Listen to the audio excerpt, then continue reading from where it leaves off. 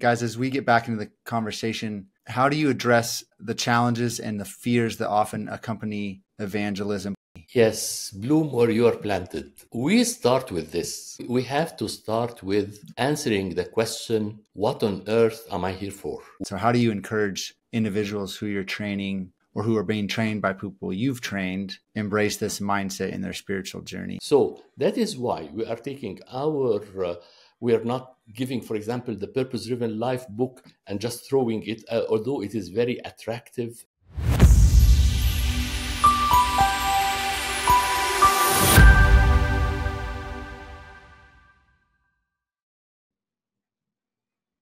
Welcome back to the Ministry Growth Show. Today on the show, I'm going to be talking with Wahid and Laila Wahba. They are co founders and CEOs of For the Global Glory of God, or 4G3. Wahid, Laila, thanks so much for being on the show. Thank, Thank you, you, for inviting us. Oh, yeah, ex- excited to have you guys on to talk 4G3. Um, to get us started, can you just tell us a little bit about For the Global Glory of God, or 4G3 as we'll refer to it in this conversation? What's the origin story? Um, why do you guys exist?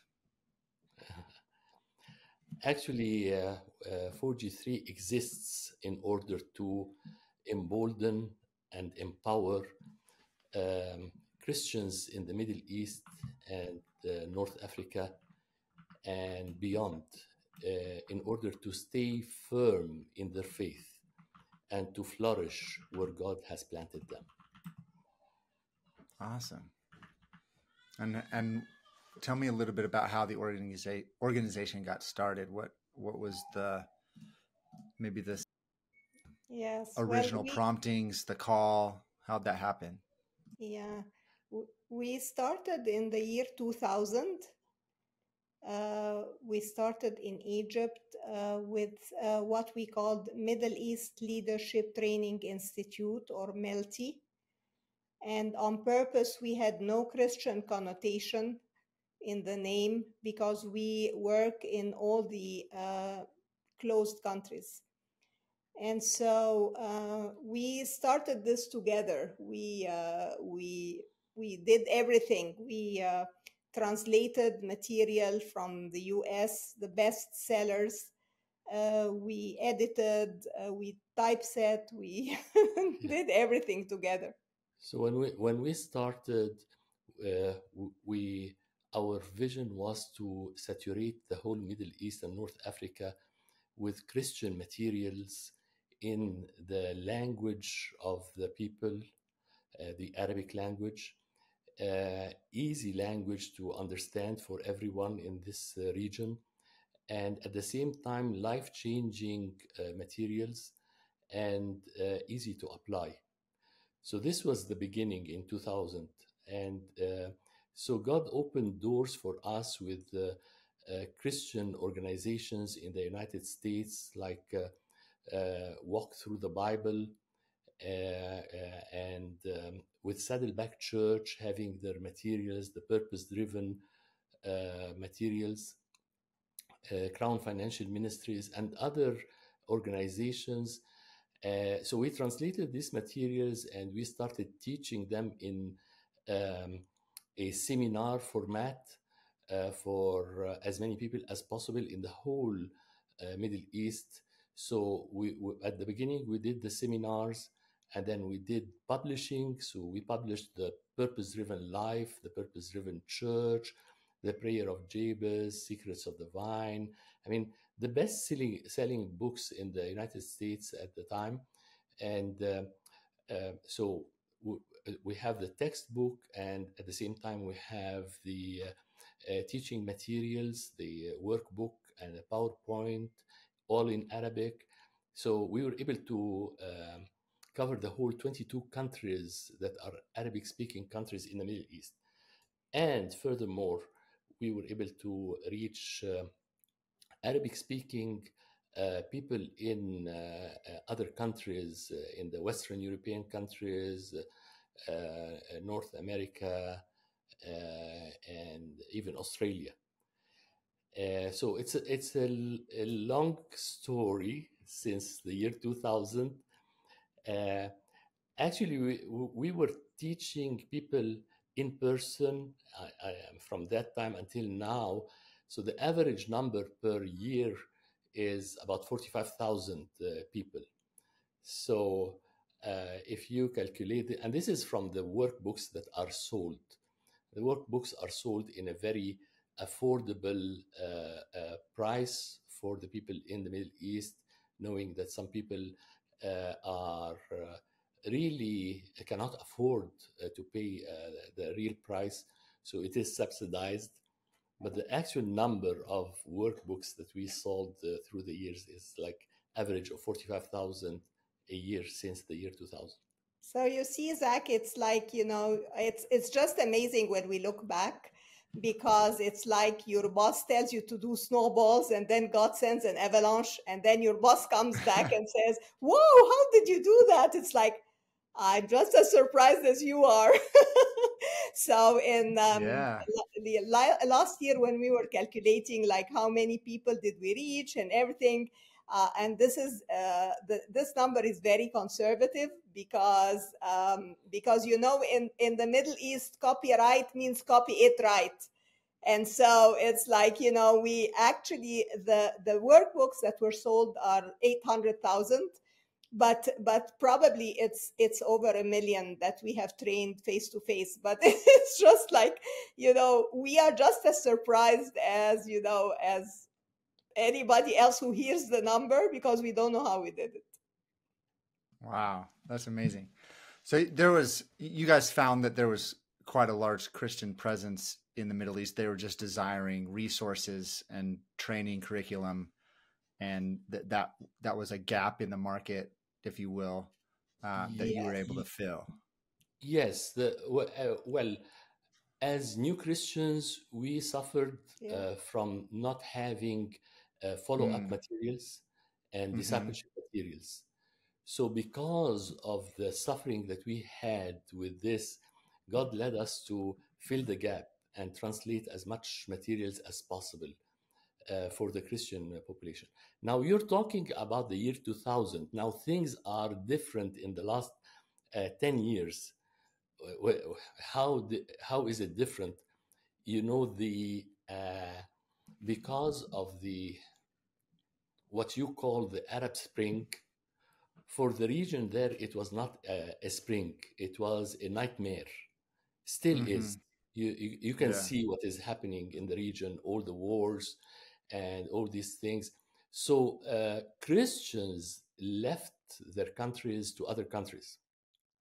So there was displacement uh, internally and externally. Internally, I mean, for example, Iraqis had to flee from the uh, the fire of ISIS to the north, northern part of, uh, of Iraq. So this is internal displacement. But there is also external displacement, like Iraqis and Syrians are uh, passing the borders and going to Jordan, Egypt, or Lebanon. So, uh, so uh, about 10 years ago, seven, eight years ago, uh, God led us to start going deeper with the people who are displaced. Because they have so many questions when this happens, when they need to suddenly leave their country uh, with the clothes on their back, literally. Um, they and they need to leave because they are Christians. So they have like all these questions, like why did this happen to me? Why am I displaced with no home? Why why did God permit this to happen? We felt that we needed to take what we were doing a notch higher. And we started what we call discipleship institutes, which are 15 month, a 15 month program where people um, uh, uh, study 10 core courses. Um, we just take like 35 people at a time, train them for 15 months, and in the 15 months, every one of them is expected to reach 100 others around them before they, they graduate. And so we started that ripple effect of, of people who uh, have all these questions because people are very uh, open to the gospel when they're in transition. Yeah. They are at a point where they mm. can like listen to the gospel maybe otherwise they would not have listened to it when they were in their closed countries. So they are more Yeah. open uh, in the transition. Um, and uh, actually, through this, God opened uh, other doors. Like, for example, we didn't expect. Uh, our target was the Christians that are persecuted and that are leaving their countries. And our vision was to embolden them and enable them to uh, to understand that uh, what is happening is not by accident, but uh, uh, God allowed this uh, to happen, and at the end, God has a good purpose because God has a purpose for everything He does. So, when we started doing this, God opened doors not only with the persecuted Christians, but also with uh, Muslims who uh, to- turned to Christ uh, through this. Because what happened is some of the uh, Muslims in these countries started asking questions like, "Is this real Islam? Is is uh, is is it all about violence and killing and uh, all these uh, terrible things?" And so, uh, at this point, we uh, met with people face to face who saw Jesus in dreams and visions, and uh, they did not know what to do next. Yes. So, Actually, like, uh, for example, I'm going to tell you one of the stories uh, was that uh, there is uh, someone who was in, in one of the closed countries, he was in the military. And uh, he was to the point where if they would ask him to kill his mother, he would not hesitate. They, they trained him that well. Um, and then uh, one day he had a dream. He, he dreamed that there were two angels uh, who told him, uh, The road you're on will lead to death, but there's another road that leads to life. And so he woke up from the dream and he decided that he wanted to leave the military. And he went to his superior. He told him, like, I need to leave. He said, Are you crazy? We're in war. You can't leave. This, you know, that's not going to happen.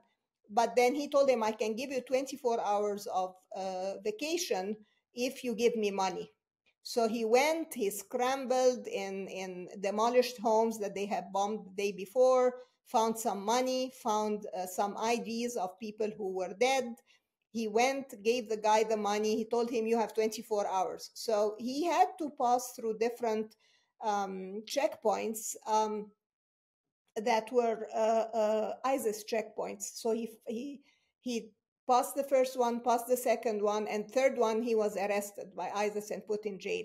Well, the day that they were supposed to execute him, uh, they literally had the, the sword on his on his neck, literally, and and he said a, a plane came and started throwing missiles and the chaos, and then suddenly he found himself somewhere else, and he didn't know what happened. He slept, and the same two angels appeared to him again, and they said, "What do you want?" And he said, "I feel really thirsty."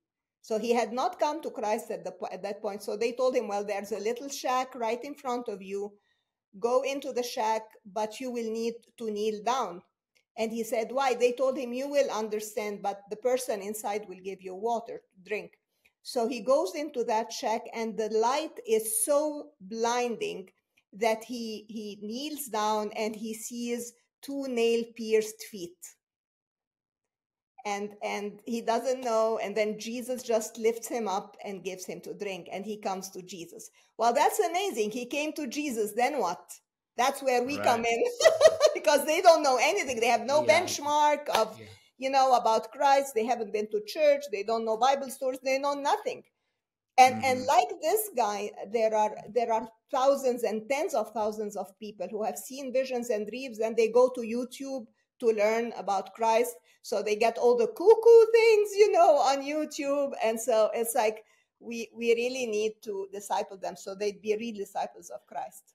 Actually, when, when things like this happen, you feel it's like you know what in in the book of Acts when uh, when Jesus appeared to Saul on his way to Damascus. i i- it's this it's the same thing. I mean, some of these people talk to Jesus and he talks back to them and he tells them what to do and what they are going to see. And they and he mentions, for example, uh, some verses from from uh, the scriptures, and they uh, they recognize months later that they know this this scripture because Jesus himself told them about it. Uh, things like this, but exactly like Saul, when Jesus appeared to him, you know, he did not change immediately to Paul. He needed someone like Barnabas to mm-hmm. come along him, alongside with him, and to teach him the Christian life. Mm-hmm. So th- this is what we are doing uh, uh, with our ministry in uh, in this area of the world. So it, it happens all the time. People uh, coming from either a nominal Christian background, like traditional mm-hmm. Christianity, and they know nothing about the Bible and they know nothing about uh, real Christian faith. Just like we were, we come from traditional Christian families, and I was in Catholic schools, but you know, until we met Jesus, we didn't really know him. Mm. Or uh, people coming from a Muslim background, and uh, uh, you know, there is no forcing. I mean, the, these people are just asking uh, uh, about how, tell us how to how to follow Jesus. Yeah. We, we don't know anything, and actually, they not only they don't know anything, they have distracted uh, uh, distorted. I mean, they have distorted um, information about life, uh, about God, about marriage, about uh, uh, bringing up children. Yeah. I mean, you have to reprogram these people. Uh, this is discipleship, right? So, so for example, uh, we went mm-hmm. to Iraq, um, and we were doing the biblical portrait of marriage for um, 40 Iraqi families who are all Muslim background believers. And mm-hmm. uh, the first day we told them we want every one of the men to tell three things that he loves about his wife, which is very unusual in Islam because in Islam, like the woman is just a, an object, you know, just to serve right. him and stuff like that. So you you could see all of the women got out their iPhones and started recording their husbands telling them the nonsense. I think they they left three inches taller after that thing. That's right. And uh, even if they were married for a long time, that was the first time yeah. in their marriage that uh, uh, the husband would say something positive or encouraging to his wife. Yes. so yeah. it was such an experience. Uh, but of course, uh, uh, I mean, the the biblical way uh, that uh, well, we say that God is the one who invented marriage, and uh, and we of course we study the part from Ephesians five about the uh, role of the man and the role of the woman and the responsibilities of the man and the responsibilities of the women and how they deal with the different uh, issues, including the in laws, because this is something uh, uh, very critical in, uh, in our uh, culture. So, yeah, things like that. Mm, interesting. Wow. So, can you guys explain how how 4G3 maybe defines discipleship and what are some of the key principles that guide your approach? There's obviously uh, a firm belief in, in a, role of training and curriculum development. Um, what does it look like as you have trained these believers who then are equipped to go and train others? Like, what's the multiplicative multiplicative process? Um, what's the what's the model behind that? Is it solely training and curriculum, or is, or has that developed and grown over the years as you guys have grown as a ministry? Oh, I, will just start with something and then Wahid will complete because he has the big picture. But for us, it's like discipleship is life on life. Mm. So we are there for the long haul. We we that's why we do it for 15 months because it's they need not only to study because studying is in books. I mean you can read all kinds of books, but they need to see us, they need to live with us. We need to laugh with them, cry with them. Um, go to funerals with them, which we've done many times, and then they give us the opportunity to speak at funerals. So take care of their kids when they're there. There's a sick child that we can pray for. So it's it's much more than than just the curricula. Yeah, so it's not about information; it's about transformation. And uh, uh in our uh, uh, situation, uh, we use uh, Romans 8 28 and 29 uh, of course, Romans 8:28. Everyone knows this by heart. We know that uh, uh, everything works together for good for the people who uh, are called by God. But verse 29 is why are these things happening? So, uh, good things, bad things, ugly things, anything that happens to us, any person whom we meet uh, in all circumstances, God wants to use all this in order to be transformed into the image of Christ. So that we so that he would be the firstborn among many brothers. So so this is uh, the core of it.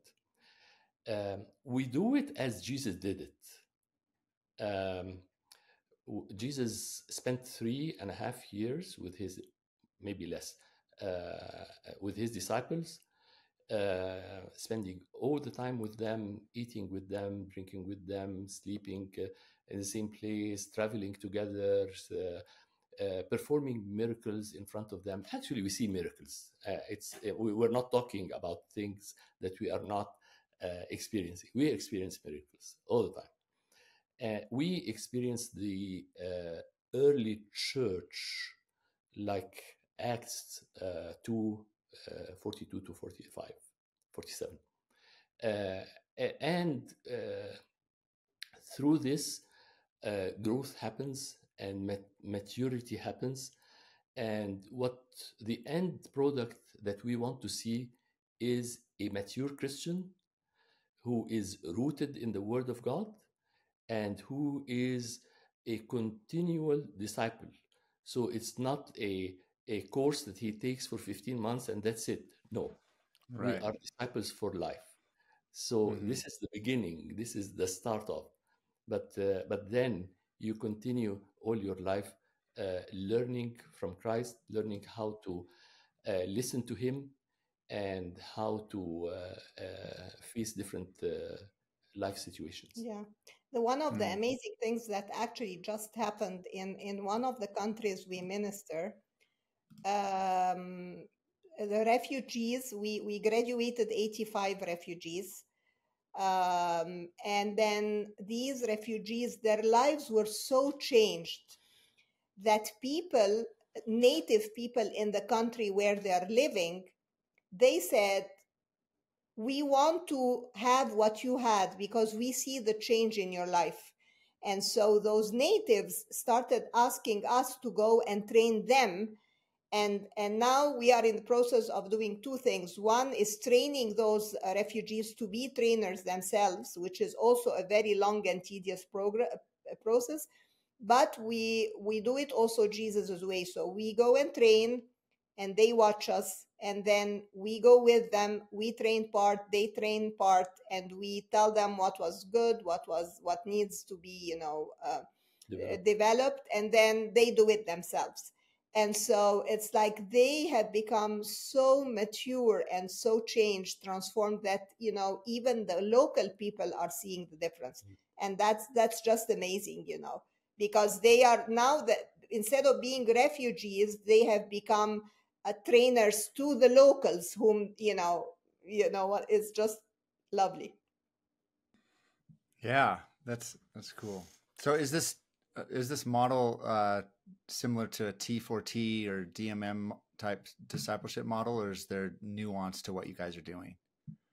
Uh, it, of course, it's uh, more or less the same, but we, through the years, from the year 2000 until now, we were uh, able to um, uh, select uh, the 10 courses, and these co- 10 courses build on one on, on the other, so that at the end we reach the results that we want to achieve, which is a mature Christian rooted in the Word of God.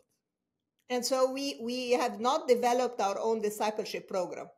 We have picked 10 best courses, for example, the Purpose Driven Life, the, by uh, Rick Warren, Spiritual uh, um, warfare. warfare. by Chip Ingram.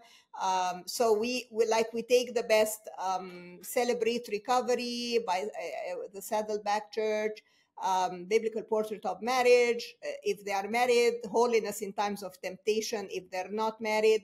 And so we just like selected the 10 best things and put them in, in, you know, in order. And then like, uh, for example, um, survey of the Old Testament, teaching with style. So they know after that how to train in a way that is amazing. So we, we have, we, we thought why reinvent the wheel like there's so much good material that we have the copyright and we translated it into arabic so why not use that mm. god does not uh, waste uh, uh, any um, anything that we learned through the years. So we were making use of everything that uh, uh, that we learned through the years.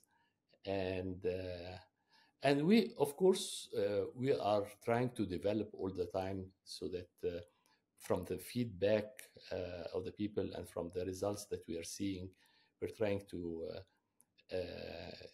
do even better so we, we are still partnering with new ministries and you know we just we love partnerships because no one can do it on their own and we're all working in the same vineyard we're not in competition yeah. with anyone so yeah. yeah right now, how much did the influence of those who discipled the two of you impact how you guys are discipling and training and leading the, the people that you're uh, investing in? That's a, that's a very cute question, actually. so we were discipled by um, the navigators. Okay. Um, yeah, for many years, and then after that, we continued with a um, born again Coptic Orthodox priest who discipled us, continued discipling us. Oh, um, interesting. So yes, so I mean, we love the long haul. We love the Word mm. of. God. We know how powerful it is. We're still learning until today. Of course, no one finishes. No, of course, learning. yeah yeah and we, we are open to any uh, partnerships like we we we, we found a um, uh, uh, an organization here in Atlanta that is doing discipleship. We are after this. So we translated the material, and lately uh, we are in the process of uh, uh, producing another discipleship program written in uh, by uh, Avery uh, who is the father of the orality movement, and now mm. yeah, and now his grandson Matt Wallace, who is a, a pastor in of a, a, a, missions pastor in a mega church in Winston Salem.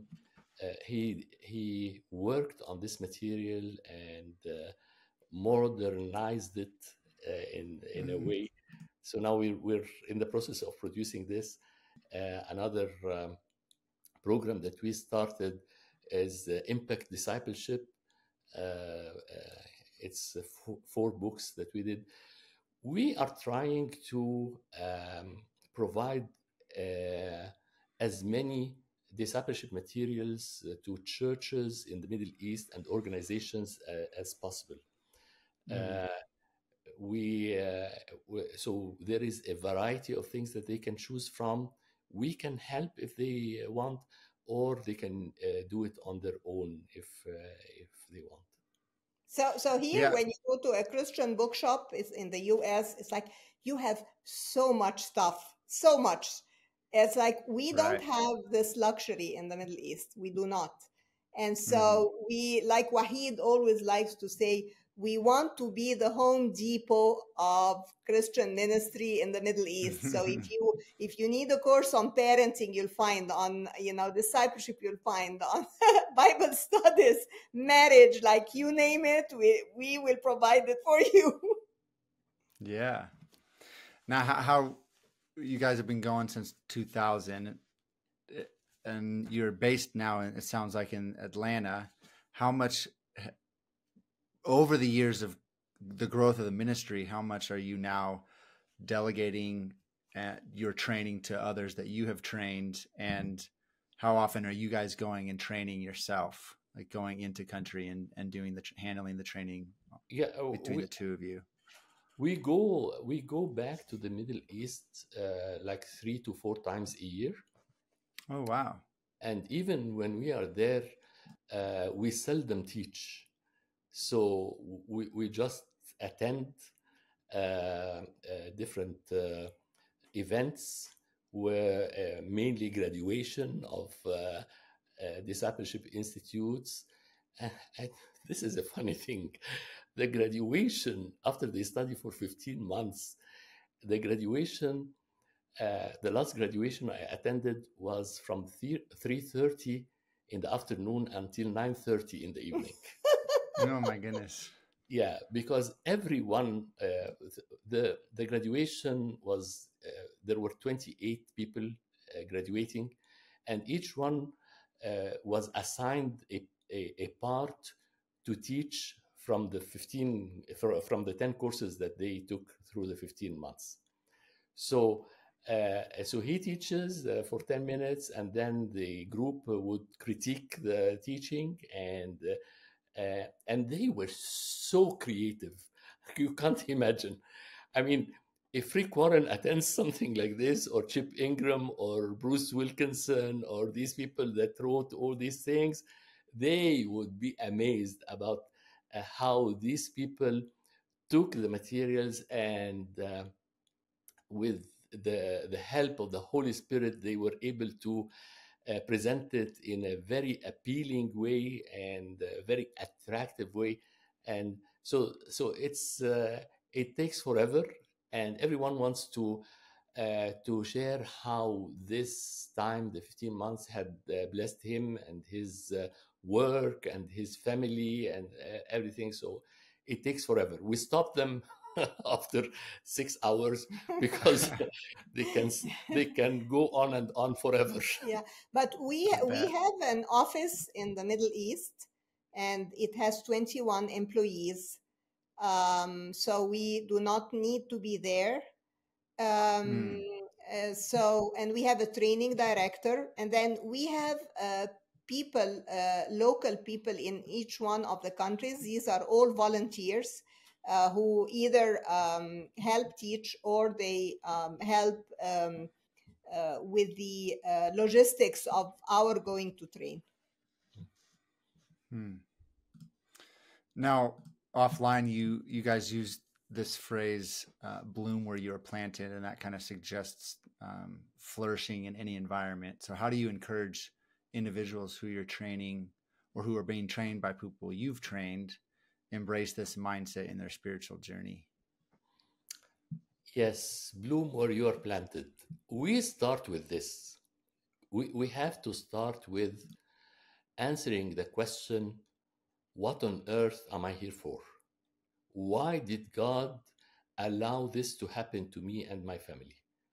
Why I, I, I was displaced from uh, my comfort zone and now I am in a uh, foreign country and I'm starting from scratch and I'm struggling to live and and and endless questions. The purpose driven life answers all these questions and more. Uh, you are here for a purpose. Yeah. And God does not do anything without a purpose. Uh, God created everything in this world uh, for a purpose all the more he created you for a purpose. So we're going to teach you in the next 15 months how to discover God's purpose for your life. And when you discover God's purpose for your life, you are going to flourish where God has planted you. Because so many times, for example, in one of the countries we went, so we, we go and do house visits and um, it's sort of like what you see in jesus films you know you go to someone and you pray with them and read the bible so there are about five or six in a family. Then we tell them we're going to go and visit your neighbors on top. They say oh we'll come with you. So those five come with us and then they become 10 so one you need to change the message or the part you're reading from the bible so you have to be very creative. Then we finish with those and we say okay we're going to your neighbors and all these say, oh, we're coming with you. So by the time we visit seven or eight homes, we are about 50 people. we're a church. yeah. yeah, it's so funny. But the thing is that you see many of them are just in that place waiting they put their lives on hold waiting to go to the us or to go to canada or to go to australia or to go some of them have been there for five six seven years and so the question is what if you get refused? What if you never ever get the okay to go to the US or to any of those places? And and they were just like, oh, that would be horrible. It's like, okay, what are you doing in the meantime? How will you let God use you in the meantime that you are waiting? Because don't waste this waiting time. Maybe God doesn't want mm. you to leave here. And so it's it like opens uh, like there's a light bulb that goes on when when when we ask that question because they have never thought of that. Yeah. Interesting. Well hey, i want to make sure that we take a moment to hear from today's sponsor but when we get back we'll continue our discussion with wahid and Laila Wahba for uh, for the global glory of god. Hey ministry leaders. Today's episode is sponsored by click nonprofit are you looking to grow your ministry but don't have the money or marketing knowledge to make that happen? There's good news. Google offers an advertising grant to churches and ministries that is worth $10,000 per month. This means that if your ministry is a 501c3 nonprofit, you are eligible to receive $120,000 per year in free advertising dollars. This allows you to place ads at the top of Google search results page and drive thousands of visitors to your ministry website every month. Our sponsor, Click Nonprofit, helps your ministry acquire this Google ad grant and then manages your Google ads to ensure you get the most out of the grant. Schedule a free consultation at clicknonprofit.com to learn more about how this grant can help your specific ministry. Mention the Ministry Growth Show when you sign up and get 20% off your first three months of management. All right, welcome back to the Ministry Growth Show. We've been talking with Wahid and Laila Wahba uh, for the glory, global glory of God. And guys, as we get back into the conversation, how do you address uh, the challenges and the fears that often accompany evangelism, particularly in places where you guys are working, where there's diverse or maybe even skeptical environments and opinions um, related to the gospel? Yeah, uh, when when we share people think that we have we we we are not afraid of anything and uh, that uh, uh, we know the way. And th- this is not not true. Truth of the matter is that we are afraid all the time. Afraid because of the changes that is happening by the hour. Mm. Afraid of losing opportunities to reach people and uh, save people before they get killed yeah. or before we cannot reach them. I mean, uh, we we have.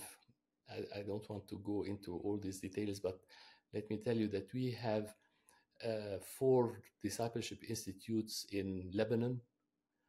Now the uh, all airlines banned the uh, flying to to to Beirut airport because the mm-hmm. Beirut airport is closed, and we we're we're we are crying to God, Lord, Lord, please, please. These people just started their relationship with you, and we know that you are in control. Please, please, we don't know. So this is the situation. You know, uh, this is what this is. These are the challenges that we have. Yes, and that's that's why, like when when people in the U.S. here like ask us, like, what's your biggest challenge, and and they would usually expect us to say that it's money.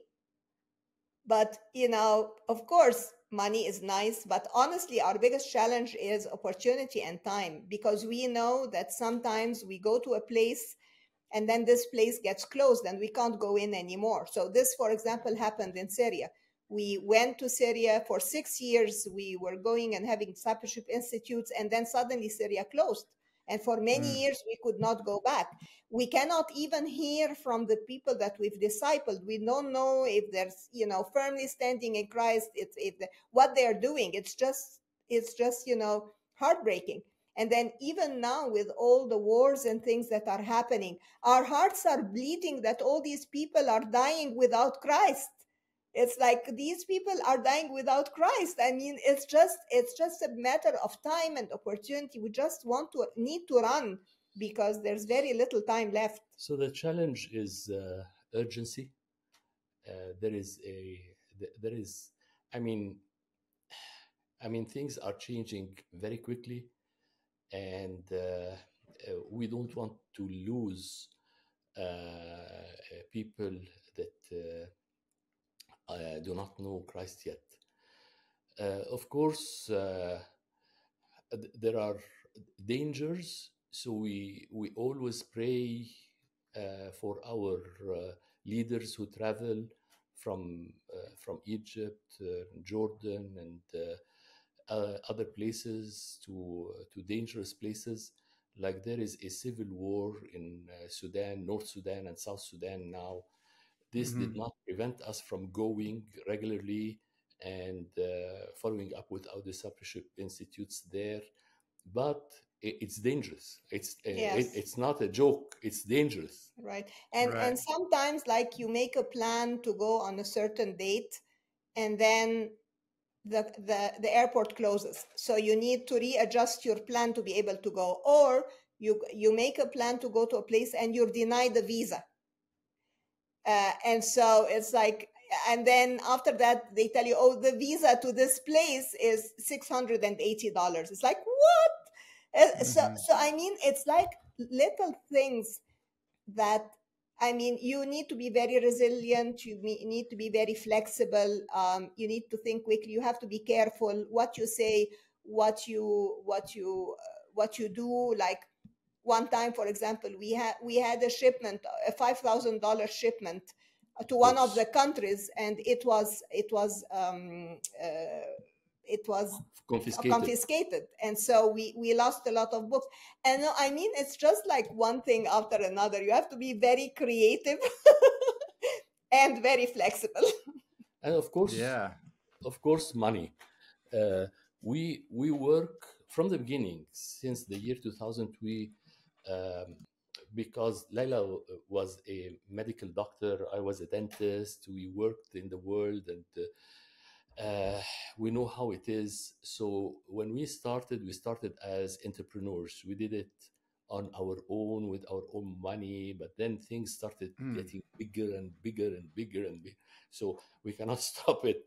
Uh, now, of course, there is an enormous need for uh, uh, financial needs, of course, to sustain this ministry and to keep it growing. Uh, uh as long as the doors are open and as long as the uh, the, the there is still a day that we have to work on, and so uh, we're praying, God is providing, and uh, we are. Ex- it's an exciting journey. I mean, yeah. people who say that life with Jesus is boring, I that's not well, the Jesus we follow. To, to, tell you, to tell you the truth, sometimes it's too much excitement. like we, oh, we sure. always joke, we always joke, Wahid and I, that you know, we feel God is running and we're trying to catch up with him. It's like, can you slow down a little bit? Yeah, yeah. Well, you mentioned uh, Wahid is in the beginning this idea of um, the ministry. Part of the existence of your ministry is to help embolden Christians in these places where um, there is a lot of persecution and, and oppression of, of those of the faith um, obviously there's an urgency. You talked about an urgency to this, and oftentimes, uh, I know one of the, of the things that you mentioned was that oftentimes persecution drives people and disperses people into different parts of uh, in, in, different countries into refugee situations. So, what does it look like to help train and, and help these Christians, sometimes new believers, navigate being bold for their faith, uh, but also just depending on the Holy Spirit to see where He's leading and guiding. Where when do they stand and when do they move on? Like, I'm I'm really interested in that kind of um, what that looks like to train and equip in that space. The the emboldening of believers. Um, does does that make, yep. question make sense to where well, I'm going with that? Uh, can I can I answer this question with a story? Yeah, I'd love uh, that. So okay, so we have we have one of our uh, disciples who graduated. Um, he was put in jail. Okay. And uh, he owned uh, a very small textile factory uh, that is in a basement, on literally like under under the stairwell, literally. And he had about 20 people working in that factory, mostly women, to save them from being um, sexually assaulted elsewhere. Okay. Well, when he went to jail, uh, of course, the, the factory closed. All these people were without jobs. Uh, he uh, had a lot of, uh, of legal debt, uh, and he was in jail for six months. But okay. during those six months, the rest of the disciples in the church who have also graduated with their pastor uh, they started praying and you know asking the lord for you know for help and stuff like that. And they would call wahid and wahid said well you know now this is the real test. Now this is the real test. And so two things happened. One is that the guy who was in jail he evangelized people in jail, which was very, very dangerous because they beat him up like crazy and, and then they had to put him in solitary confinement. But at least those other people heard the message. And so that was one part. But the second part was that um, the people started asking God for, to uh, pay for the legal fees that, um, you know, uh, that happened. And um, God provided for the legal fees uh, through donors of 4G3. Um, and then we, we sent people, uh, two people from our, our office to that country. They uh, gave the, the legal fees. We got much more than what we needed. So they gave the legal fees. They had a big party uh, that cost $200, invited everybody in church. They had a big cake with that man's face on the cake. And they even gave him money to restart his factory.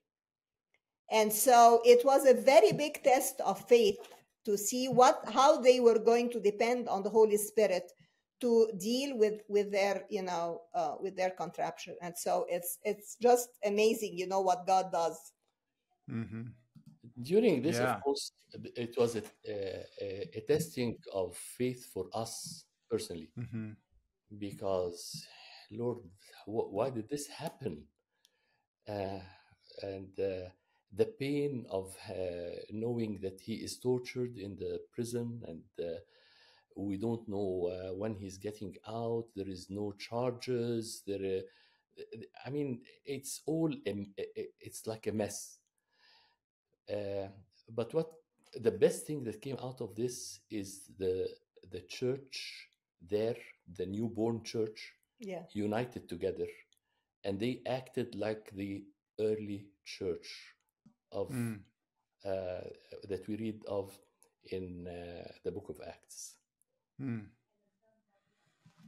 Yeah, I, on that church piece, I'd be interested to hear what church looks like in this in these contexts. These uh, is it more like small little home church network type things, is or more um, accustomed, what we're accustomed to here in the West? How would you define or describe No, it's not- churches it's over not- there? It's not the church that we have in mind here. It's more of a church that is uh, in uh, the book of Acts.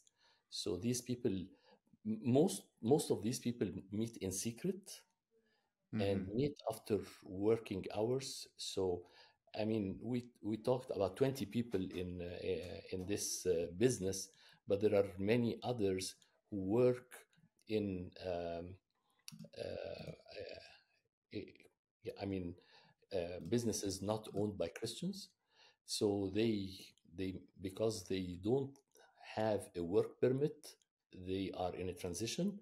They are not allowed to work, so they have to work. So they are underpaid and they are mistreated.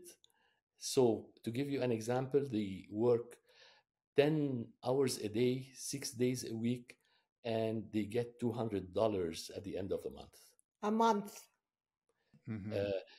Uh, uh, so and when- they work until like 10 in the evening. Yeah. So, So when they when they meet, we meet with them after uh, nine o'clock in the evening when they finish Mhm. work, and we the meetings sometimes uh, stay until one o'clock uh, after midnight, and uh, the meetings are in basements. Uh, in in summer it's okay, uh, but in winter it's freezing cold in some of the places, so that and they don't have and they don't heating. have heating. Uh, So- one of the times, like when uh, when our trainers went, they said we were going to freeze there, and Wahid said, "So why didn't you buy them a heater?" And they said, "Well, we didn't think about it." So later, we we sent a heater for that particular church because it was so cold. And then there are little kids, you know, the kids have to stay up late because they they have to be with their parents. So it's like the kids are also freezing, and you know, and they they have like a special program for the kids during the training. So I mean, so this is the- this is the very different, yeah. Uh, they they are concerned about their kids. Talking about the the kids, they are concerned about their kids because uh, they are in public schools and in a different country and a different culture and all these things, and they are losing their own language into another language, and uh, and so we uh, uh, after after uh, all these uh, things happened you know we started uh, telling them okay let us pray about translating these materials into other languages the language of the country where you are. And it's That's our new project. Now we want to translate uh, the 10 courses into the languages that the kids are speaking. So as they grow, we will have them in their new language. Mm. Man, that's wild. So it is you, you might have how I don't know, 10 or 20 tiny home churches meeting in homes and in small businesses yes uh, yes. in an underground fashion uh, in a region. Does that then when you guys come in to train or some of your trainers come in to train, are they coming in and training that regional church? Or are they training each individual home No, and the no. leaders in those individual home churches? No, no. whe- whe- When we send people to go uh, and uh, and do the training, they we send uh, usually two or three people, like the, like, like the biblical uh, model. So Right. two se- two seasoned leaders and one new leader with them to learn from them. So they go and they stay for ten days and they meet with each of these uh, churches uh, uh, independently. They do not Individually, there's not place. like a seminar no, or it's- con- It's, it's very, all No, it's it's too risky it- to do it's that. It's too risky. Yeah. Interesting. Yeah. Yeah. Okay. That makes sense. Wow. We we even have we even have meetings where people in the same meeting do not know the real name of the other people in the meeting. So they have nicknames. They have Wow. nicknames so that if someone is arrested, he would not tell about the others. Snitch on the others. Yeah. No, he can't. And then also, for example, in Sudan, we have we have a church that meets under a tree, and it's called the Tree Church, and it is literally under a tree because they have no building. And in the heat of the summer, of course, sometimes like the heat might go up to 107 or 110, they're still meeting under the tree. But they're Hmm. they're so hungry for the word that they they don't care about the heat. Yeah. Wow. What uh what role does storytelling play in your ministry and how do you guys incorporate it in your work maybe within your disciple making process uh, or your marketing communications efforts you've used story a lot even in this conversation so obviously it's an important piece to what you guys do how does that show up in in your ministry It's it's Jesus' way of, uh, Mm. of ministering. And don't forget that Jesus was a Middle Eastern. That's part of our culture, storytelling. yeah. So we we love stories. This is part of the culture, as Laila said. Yes, and uh, it uh, it goes uh, right into the hearts of people when they hear the stories of other people. I mean, Mhm. they identify with it, and uh, they feel that it is. Uh, uh, yeah, I mean, something live. are you guys creating space inside of the disciple making process to explore one another's stories and and share one another's stories and and um, uh, for the purpose of understanding why and how we relate to God the way that we do. Does that Mm. question make sense? Yes, Like it, definitely. it doesn't it doesn't sound like there's it's just strictly curriculum consu- consumption and knowledge transfer it, it this disciple making process goes a bit further than that it sounds Yes. like Exactly. Yes. Exactly. Yes, yes. Everyone has the chance to tell their story during. Uh, we have like discussion groups and things like that. Uh, everyone um, shares, so we we go really deep, especially when we uh, do the celebrate recovery uh, course, because many Mhm. of them have traumas because of what happened to them, either uh, because of the war or as they were leaving. Uh, a few have been raped on the way. And so there are a lot of traumas and things. So you really get to hear the stories when you do Yeah. that course. bitterness, unforgiveness, and all this, all this. I mean, you could see uh, how the Holy Spirit works during uh, the teaching of these things, how He melts the hearts of people, and they repent and they love their their their enemies, Hmm. as the Bible says. So it's. Uh, let me tell you, we we, we even send. Uh, too many uh, newsletters. And our newsletters we seldom ask for money. We f- we forget to ask about money because we are too much excited about what god is do- is doing. We just uh, share testimonies of people and uh, uh, how god uh, is working in the lives of people Hmm. well earlier you mentioned uh orality and uh, i can't remember the name of the person that you mentioned who teaches avery, avery Willis. So, are you incorporating that training in? I mean, you're working in an orality cul- communication culture already. exactly So, is the training more supportive of what they already know with regards to their th- communication style, or is this idea of orality within the context of sharing the gospel uh, a new idea, even in an orality cult- communication culture? Uh, No, it's, a, it's not a new idea. This is how we are brought up I mean, if you ask uh, a normal person in a, a, church in the US, how many books did you read uh, from the beginning of the year until now? Uh, he would tell you um, a book a month, two books a month, uh, a book every a couple of months. Uh, if if you go to the most intellectual people in the Middle East and you ask this question in churches or uh, anywhere, they seldom read a book a year Hmm. seldom mm. read a book a year. So that is why we are taking our, uh, we are not giving, for example, the purpose driven life book and just throwing it, uh, although it is very attractive and they, they love it. But we teach the seminar, the five purposes, in uh, seven sessions. Uh, first, uh, an introduction, and then uh, a, a session for each of the five purposes, and then a, a closing session. With, with the teaching, we have a PowerPoint. The PowerPoint is colorful. The workbooks are colorful. So they fill in the spaces and they feel that they are connecting.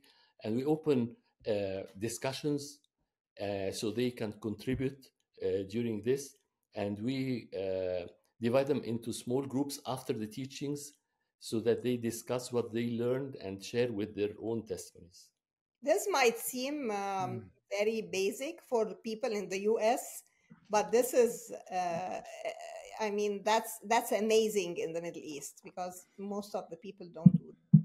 So you think mm. that it is the time consuming here? We go to church, we expect that church uh, finishes in an hour or an hour and 15 minutes. If it's more than that, we look at our watches and then we we see if our watches are working or not. Uh, but over yeah. there, we have time.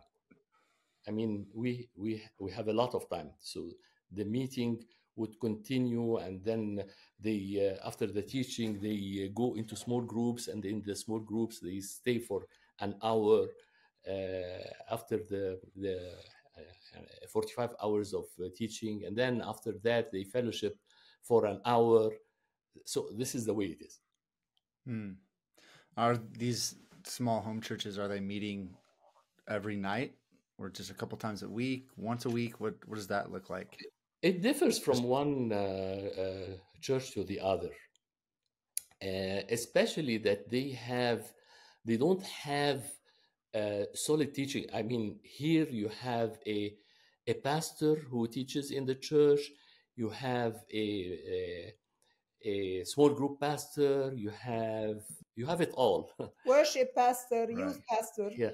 Over there, the the leader, I mean, we don't we don't call him pastor. The leader there is from a Muslim background, uh, so he his his biblical knowledge is very minimal. Mm-hmm.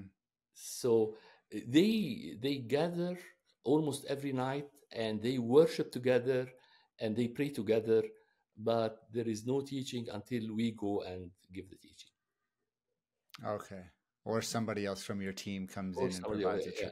Teaching. Well, now, now after working, for example, in in uh, in a country for 15 months, we select out of the 35 people who attend the the discipleship institute, we select three or four that we work with uh, uh, uh, more deeply in order mm-hmm. to um, equip them to be able to do what we do. Mm-hmm. Yeah, that's my next question: Is uh, are, do you find that leaders kind of rise to the surface, and as you identify those leaders that are re- being revealed either probably by the Holy Spirit, that then you you look to teach and train and equip and come alongside those leaders that have risen to the surface exactly. yes. and shown themselves to be strong have strong leadership capabilities yes right. we have generations now now the the the, the very dedicated volunteers with uh, uh we have 57 people who uh, can do exactly what we do uh, uh, i would say about 80% um, uh, accuracy uh, because they, they are in a learning uh, process. They they, right. they will continue to learn. But we, you can rely on them 57 people right now Yeah. And so, what is this is more of a church related question, but within this, I mean, you're developing a home church network essentially. What does eldership look like? Is is there just a is the elder the leader of that home, and that's what that looks like in that context? Well, with, with, with the leader would be uh, a person who is like uh, two steps ahead of the others. Okay. In in in relation to his uh, relationship with uh, christ and his mm-hmm. conversion uh, and his maturity. But but then uh, there are people who through the training would emerge as uh, potential leaders who can help with this leader mm. so is there yeah. I guess what I'm asking is there like a glue that ties all these churches together uh, and a, a, leadership structure or eldership structure, or is that just non existent in this context because of the way the church has to function given the hostility that it's functioning in? Yeah, no, it doesn't exist. It, it is non existent, and I, I do not see it in the near future happening. Mm. And we are not worried about this because let, let me tell you something. I mean, uh, through what is happening uh, right now in the Middle East, I told you that we are sometimes very worried and we have we mm-hmm. ourselves have questions and uh, but in in all this god is maturing our faith.